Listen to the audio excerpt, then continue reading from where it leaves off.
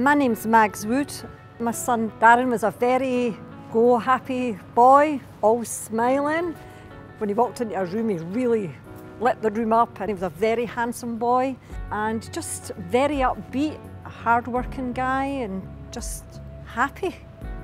Darren took his own life on 1st of April 2019 and um, we don't know why he done it, we haven't got a clue. When you lose someone to suicide you're more prone to suicide thoughts yourself and I will admit I have had these.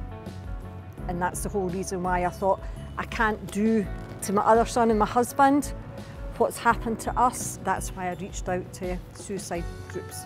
I think it's good to talk if you've got mental health issues so that you're not bottling everything up because when you feel suicidal there's that tunnel and I feel if you could talk to somebody who's somebody that can give you a bit of support and help you through that, it's just great to have somebody to be there that can answer any problems that you have.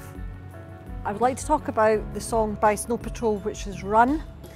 It was my son's favourite song and he used to always say to me, Mum, if I ever die, please play that at my funeral.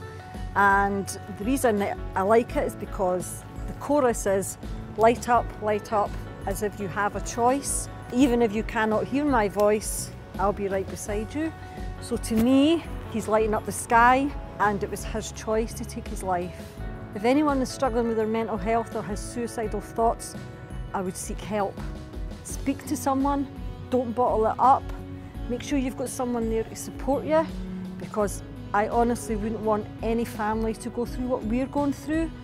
We never got a chance to say goodbye to Darren and that's one thing that I hate and I, I live with that every day that I couldn't say goodbye to my son.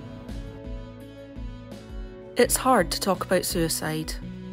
Reach out. Help is always at hand. EdinburghHSC.scot forward slash reach out.